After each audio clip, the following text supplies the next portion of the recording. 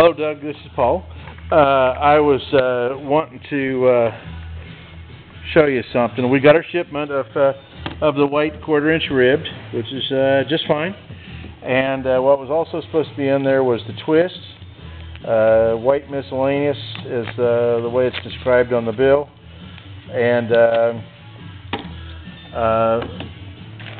when you were manufacturing twists, which is this product right here, um, you actually, because I'm not sure why, but well, it was anyway. You shipped me this stuff, which is close, but it's not the twist, which you had a roller made for me.